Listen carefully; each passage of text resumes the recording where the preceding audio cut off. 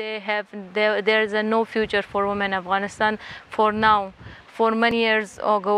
So all the things become a zero. Everything everything destroy for future.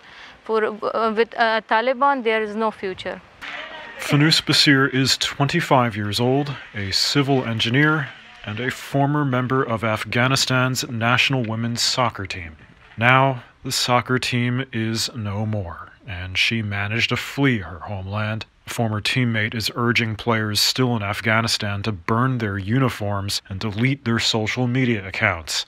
We found Basir at a refugee processing center in France we will not prepare by mentally. We don't even know. Our parents were prepared because they faced these things before like in mujahideen time and before then civil war in afghanistan. But this generation was not prepared mentally. Leaving your country your dreams your home everything is so hard for everyone because we have lots of hope lots of uh, future plans. Now it's all we will start from zero I really don't know what will be do with my then I want to uh, start my uh, continue my studying and my field I want to work what I was working in Afghanistan because I study hard and uh, we waste our 20 years of life to uh, to come to the point but I don't know what will be done in the future in here.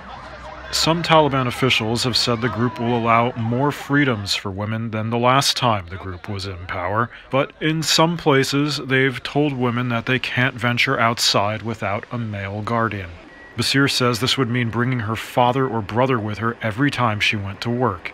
Instead, her parents fled with her.